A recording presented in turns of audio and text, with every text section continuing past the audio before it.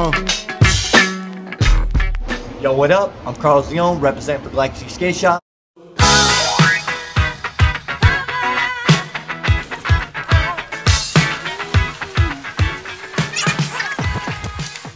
The fourth stop of the pop-up series contest for Galactic G is going to be at Biffalo Skate Park. I'll see you there Sunday, 1 o'clock. Free food, free drinks, bring the fams, and let's do this. Let's use holding down for Biffalo.